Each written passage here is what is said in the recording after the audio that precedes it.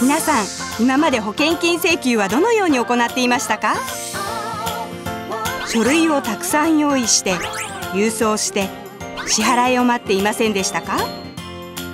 そこでジャストインケースはスマホだけでいつでも保険金を請求できる仕組みを開発しました。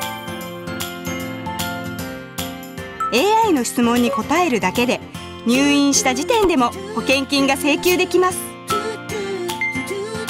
面倒な書類の記入も必要ありません。診断書は写真を撮ってアップロード。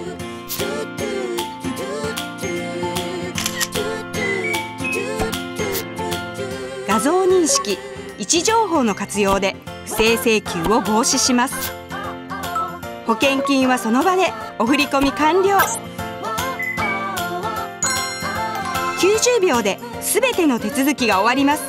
退院を待つ必要はありません。保険に新しい体験を。